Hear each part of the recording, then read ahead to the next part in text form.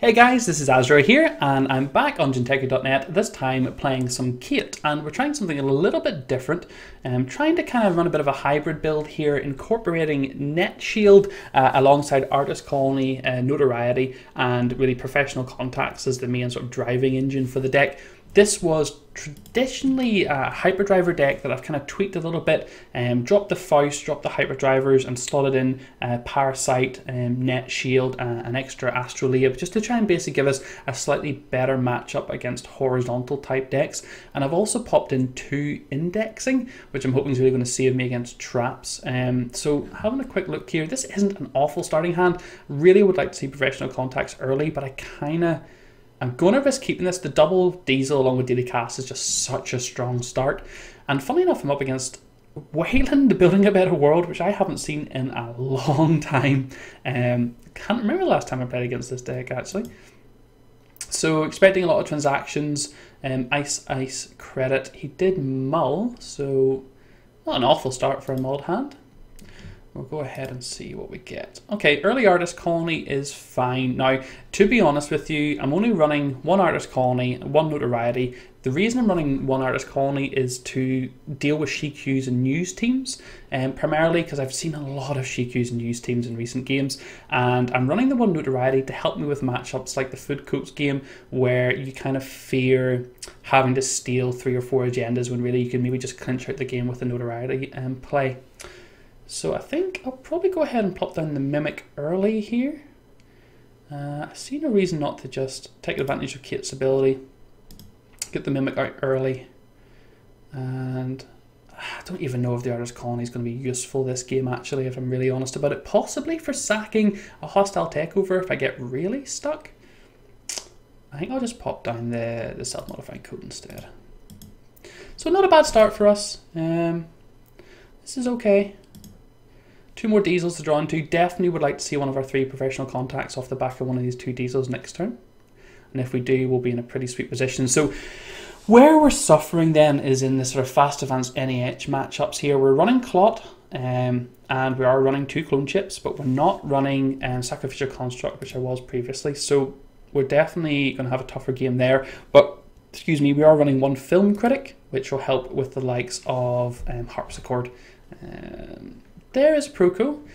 We saw draw credit credit. So no money in Weyland at the minute. Could look to run, but we're very poor in credits and I do want to get this Proco installed. So I think we're just going to head to archives here and get the professional contacts into play. We see a swordsman, which is fair enough. We're no longer run Faust in this deck, so that is a-okay. And an Astrolabe, which we could potentially get down before he starts going for a remote, which could be great as well. Bearing in mind, I just ran there and could get SEA Source, so I need to be careful. And it's, it's a long time since I played against Weyland in general, actually.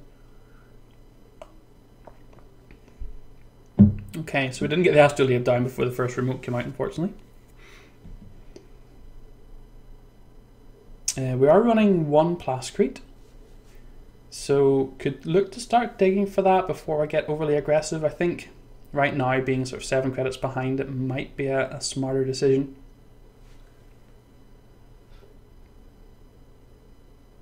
So draw, install, credit. Could be a Jackson. Could be just... I don't know. I mean, you don't expect to see a lot of remote economy out of uh, building a better world. Really, it should all be coming from transactions. So I'm not expecting like an Adonis or something like that that you'd see out of Blue Sun. So I'm not sure what to make of this. Could be a sneaky Atlas. Hmm. I think I'm just to leave that be for now. Indexing's good. We're still a little bit per for me to feel comfortable running. Notoriety's okay to see early. I think I might potentially just draw again and maybe drop the diesel and artist colony. Mm. We do have a lot of one-offs. You know, we have Film Critic, we actually have a Katie Jones, and uh, we have a one-off David, um, Clot, Parasite um, one of Atman's. There's lots of things that potentially um, Artist Colony could be used for, but I don't know if we're going to overly want to forfeit an agenda this game. I'm going to pop into play and see what happens. Now if he triple advances out an Atlas here, I still don't think we're in a terrible spot. We can look to start applying some real pressure next turn. Oh, he's iced it up, okay. Is he trying to sell the trap here, or is it just an upgrade? It could be something like an Ash or Caprice, and you might be about to drop like a public agenda into there. Either way, I don't think I really want anything to do with it right now. So I'm just going to continue to build up here. Not playing fantastic cards. We're not really getting, you know, we, are relying on really dirty laundry, sure gambles um, as our main economy backbone.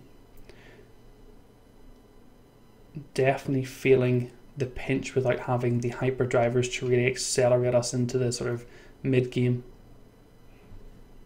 Okay. So I'm still hesitant here. I don't. Um, I'm curious to see what you guys think. I mean, I don't want to run and um, hit a snare or end up getting SEA Source in that until I've got some kind of protection or at least some sort of economy lead. I could go and force some reses of ice here, but it wouldn't be enough to swing the economy back in my favor. There's Katie. Which, you know what? I'm going to go ahead and load up and let's put Lady into play as well. He might try and sneak out agenda here, noticing how passive we're being. But we are a late game deck. Uh, if we're not against fast advance or any or something like that, I don't see any real reason to push. And there's a melange. Hmm. We've got to go trash that. But, hmm, is SEA Source going to be a problem here?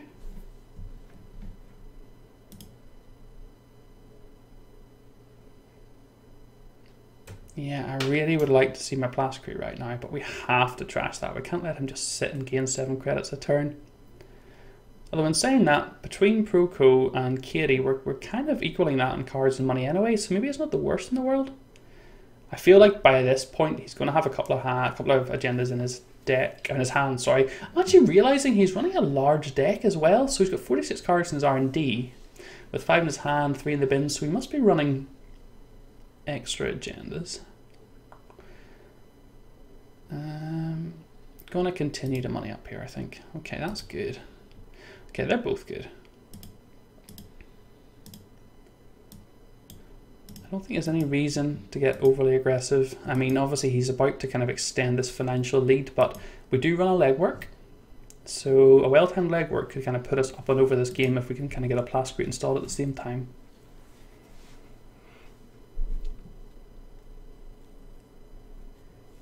So yeah, definitely curious to see what you guys think in terms of aggression level here.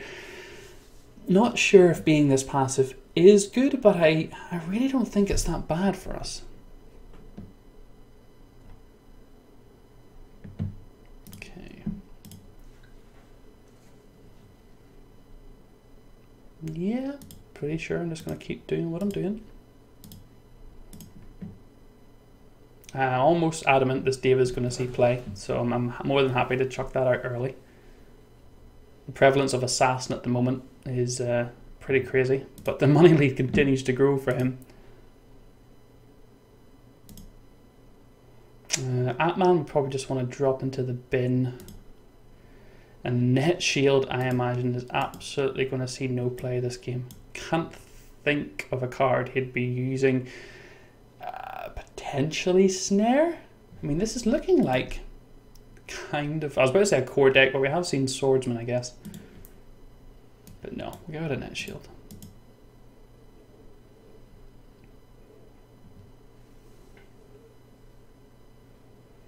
We uh, are running a levy. Oh, going to get an extra card.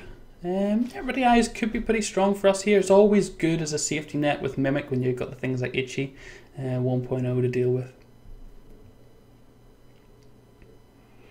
But I just got to imagine there's a couple of agendas in that hand right now. And is this server one a failed trap attempt?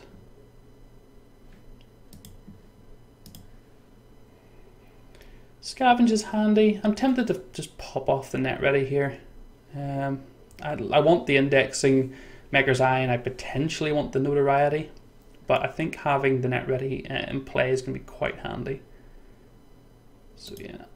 Okay, so we lose an indexing in the maker's eye. That's all right. I'm okay with that. And there's our Gordian blade. So we haven't even ended up using the self-modifying code here. I think we're probably going to end up just installing our entire rig while he kind of dirtles about here. Um, not really putting any pressure on our remote at all. Ices the melange, which oh, makes me feel like maybe he doesn't have the kill in hand. Hmm, haven't seen any influence except for the swordsman yet. Getting a bit greedy in this kitty, 15 credits is, is quite high. A snatch and grab would make me incredibly sad, so we may end up taking that in just a moment. Film critic's good here. Yeah, I think install the Gordy, install the film critic, take the credits from Katie, I think is going to be the play.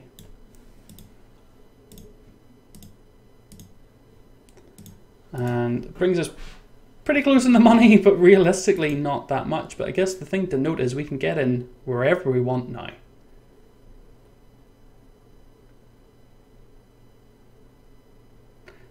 We've got the clone chip for the Atman, if we need it.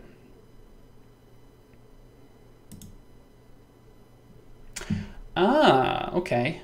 So he's actually, oh, he's milled off our legwork and a Proco, which is fine.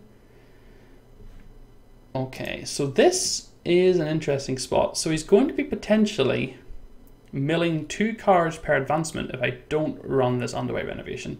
But we don't have our plascrete yet. So potentially diesel, see if we can hit the plascrete, I think it's going to be the play. We do, so that's good. And then I think we've got to go check out what this is at server 3.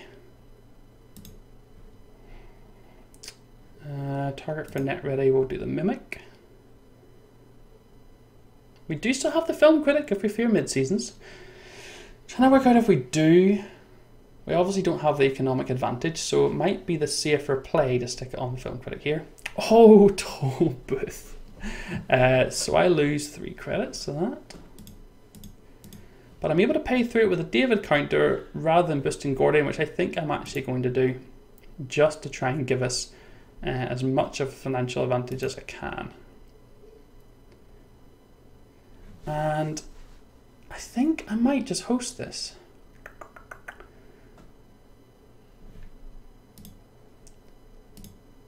Yeah, I think it's just a better safe than sorry kind of situation here. Um, I don't want to risk being mid-seasons when I've got quite so many um, resources that I'm relying on. We've still got two sure gambles, two dirty laundries, and a daily cast C. And he's getting a bit bold now. So installs a card after beanstalking.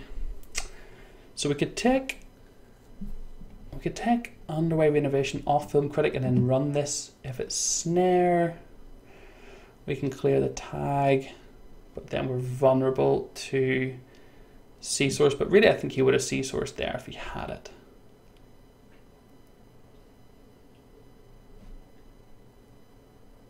Hmm.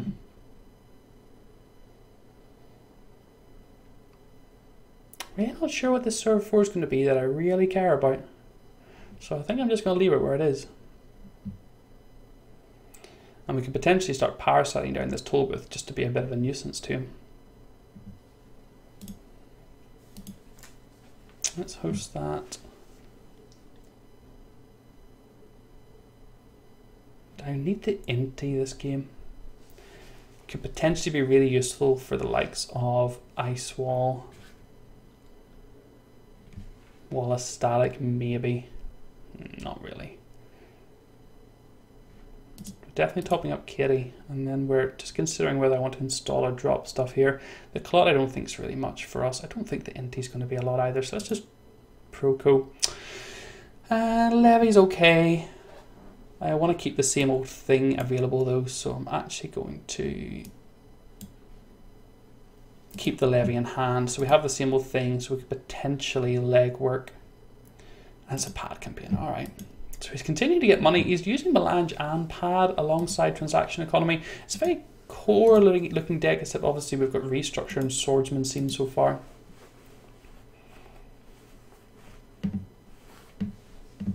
Okay, I think we're just going to continue to money up here. Self-modifying code's pretty dead. Let's sure gamble. And we're very close to kind of catching up on the economy here. He definitely can melange and kind of extend it out again, but all the while he's burning through his deck. This is probably a Jackson with maybe a couple of face down agendas in the bin. And an upgrade on HQ. Could be Crisium Grid. Could be that one I will never remember, which lets you have an extra two cards in your hand.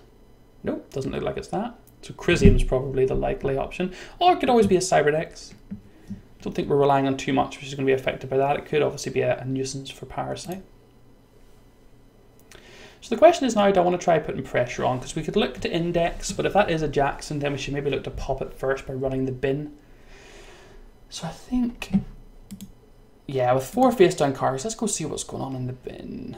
And we can always take the money from Katie if needs be.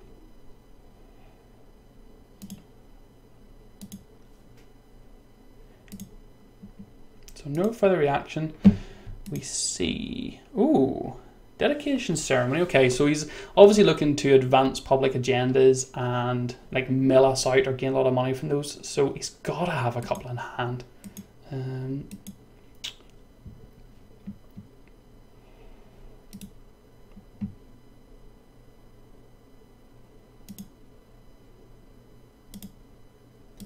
and take the money from Katie just as a precaution. I was kind of hoping to draw into something like a sure gamble there, but didn't. Um, we've still got one sure gamble, a daily cast, and two dirty laundries in the deck. So in the last seven cards, we've still got a good bit of money.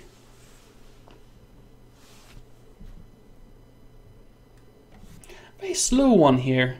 Um, I don't see still at this point any reason why I would want to be going faster. I now have the economy advantage, which is big. Oh, and he's starting to play this game again. Okay. So we could run here, pay three, steal the agenda with a David counter. I mean, I don't see why not. We could also host it to just potentially avoid a mid-season. Influence-wise, we've still only seen three influence. So it might not be mid-season, it might just be SEA Source, but we've got a reasonable amount uh, of cash. We could try and draw a little bit and see the last sure gamble. There's just one in there, and it's really the only card we'd want to see if we do draw. But we do have a full Plascrete, so are we really concerned? Not overly. Let's draw once. And it is the sure gamble. Okay, so that's good. So we got lucky one and five for there. So sure gamble, run the server. Yeah, this is pretty good. I guess I could have used Gordian, but uh, has he forced me to spend three? No, he hasn't. So I'll just spend three. Spend a David counter and trot on in. And again, I'm just going to be overly cautious here and host on Film Critic. Again, curious what you guys think about that. Am I just being a little bit overkill? Um, I mean, considering I have an 8 credit advantage here, the mid-seasons is definitely not as threatening. Um, Money-wise, we've seen one restructure, three beanstalk, two edge. So he's definitely got a couple of restructure and a hedge potentially in there, but I've got to think in his five card hand is at least three agendas just chilling in there right now. So the threat of restructure, trying to mid-seasons is there, but maybe not as, as worrying as I think it is. Uh, for sake of saving our credit, I could clone chip. I don't even think there's going to be anything I need to clone chip for. The Atman and Parasite are both viable. And if he does Scorch me, I'd rather get rid of the Plascrete counters and then levy it back in so I do get a second round of Plascrete.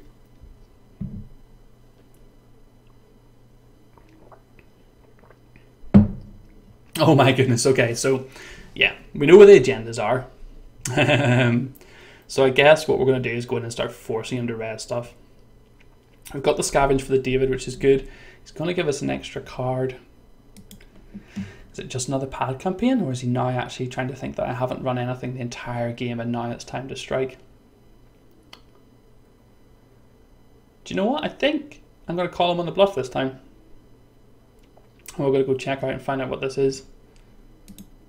See if it's a wee atlas that's trying to be snuck out. Pad campaign. No thanks. Okay, so just take the agenda.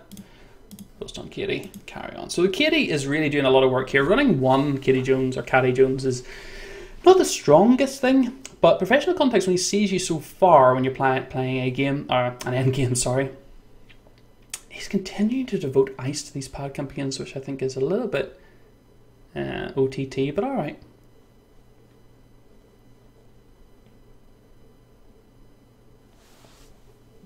So I think Maker's Eyes on the cards. First click next turn. He has installed a card behind the Tollbooth, which I don't think we're interested in. Let's go have a nosy. The question is, do we index beforehand? We don't know that this isn't a Jackson server one, so I don't know if I want to waste the indexing at this point, so I'm just going to Maker's Eye straight in.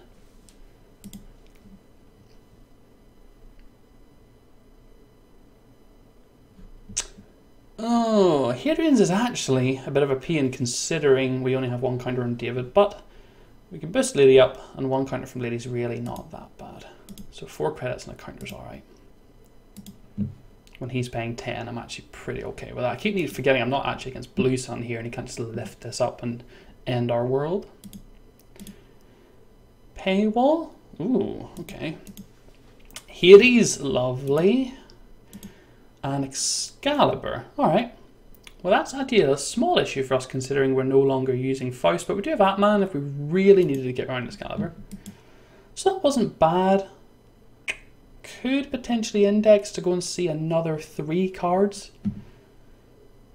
But I don't think that's really worth it. I think I'll just hold off here. And yeah, I'll drop the card. Okay, so I think next turn potentially is just Dirty Laundry. We'll pop the Levy and we've got a second cycle through our deck. We're really, we're, we're pretty comfortable considering we now have a, a 13 credit lead. Ooh, he is advancing. Is he going to score this out? No? Oh. Now, posted bounty is always a potential threat. Um, you could just score that, give it forfeit to give us a tag, and then go for the kill, but again, I'm really giving him the benefit of the doubt that he has a kill in hand. If we run it, worst case scenario, it could be a Shattered Remains. We'd lose three bits of hardware, which would actually be pretty poor for us. Hmm. Notoriety is not gonna gonna clinch this, unfortunately. And there's no point dirty laundering R&D. So let's just have a look at archives here. Get the cache. No way, no Jackson popped. We just see the paywall, which is fine. Yeah, let's just levy. See what we get. Okay, more money, more draw, which we probably really don't need. If that is a posted bounty, he'd have three chances. So potentially Scorch, Scorch, Scorch would do the deal, worst case scenario, it would kill us. Could just dirty laundry his hand here, but probably going to get chrisianed. We now can't clone chip for the Atman as well, I just realised. Hmm. At least we don't fear Archer. Assassin, we can always pay through the traces if we really want to can't believe we're under so much pressure here, considering considering we're 5 0 up. If this is a posted bounty, it's really bad. If this is just another 5 3, it's okay. I mean, I don't feel like he's actually on the kill here. And I feel like the winning agenda is probably in his hand. So let's go check his hand out. The one David counter is just making me a little nervous.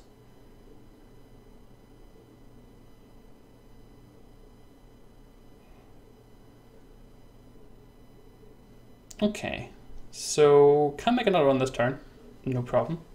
So that'll fire, which is fine.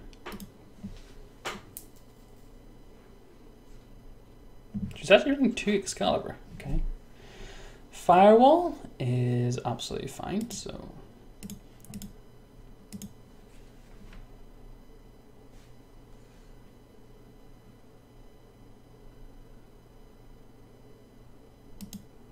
A shock caprice on HQ would be kind of interesting here.